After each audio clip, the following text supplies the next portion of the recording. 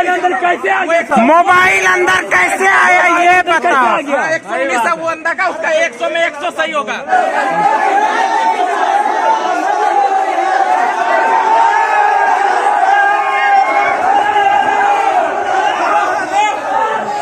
हम लोग मार मार के तैयारी करते हैं और यही रहेगा। दोस्तों, जैसा कि आप सबको पता है कि आज 20 बारह 2020 है और आज के दिन बिहार फॉरेस्टर का एग्जामिनेशन था पूरे बिहार भर में। तो कुछ क्वेश्चंस जो हैंड रिटन आंसर थे क्वेश्चंस के, वो सुबह से ही करीब साढ़े नौ, दस बजे के आसपास से ही पूरे सोशल मीडिया पर वायरल हो रहे थे। कुछ क्वेश्चंस मेरे भी पास आए थे, लेकिन उस पर मैंने कोई भी संज्ञान नहीं लिया था। लेकिन जब उसी क्वेश्चंस को मैंने एक लड़के को भेजा, जो एग्जामिनेशन देकर निकला था, उन्होंने कन्फर्म किया कि जो एग्जामिनेशन में क्वेश्चन पूछा गया और जो वायरल हो रहा था, दोनों सेम है। इसका सीधा सा मतलब है कि क्वेश्चन बहुत पहले ही वायरल हो गया था। और इसी बात को लेकर आज एक एग्जामिनेशन सेंटर पर लड़कों ने हंगामा किया कि मोबाइल में किसी खास लड़के के पास सारा का सारा आंसर था और उसका आंसर आपको हंड्रेड में हंड्रेड सही होगा।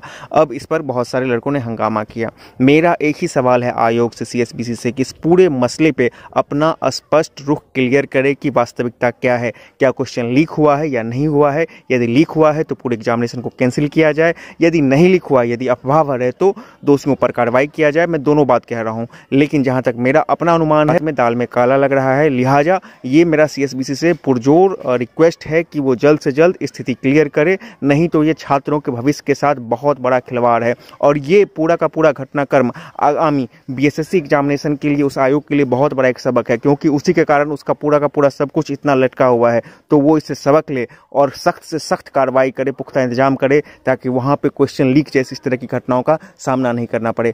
आखिर ये दोनों क्वेश्चंस मिल रहे हैं जो सोशल मीडिया पर वायरल हो रहे थे और एग्जामिनेशन में हो रहे थे तो क्यों हुए? जबकि क्वेश्चंस बाहर आने का कोई सवाल ही नहीं है। तो यदि मान भी लेते हैं कि साढ़े दस बजे भी हुआ है तो क्यों एग्जामिनेशन से पहले वो लीक हुए आयोग को इस पर जवाब देना होगा। यदि लीक नहीं हुआ, ये किसी की बदमाशी है तो उसको वो पकड़ के दोषियों को कार्रवाई करे। नहीं, यदि खुद की ज़िम्मेदारी है तो पूरे एग्जामिनेशन को कैंसिल करे।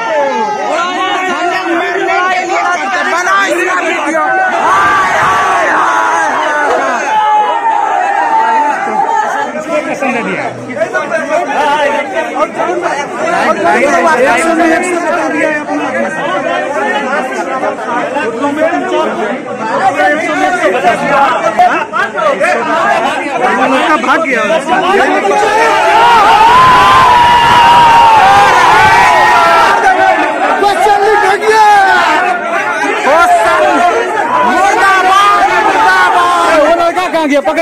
उस लड़का को पकड़ो जिसको बताया है इनके बगल में लड़का था जो दो लाख में देखा है दो दो लाख में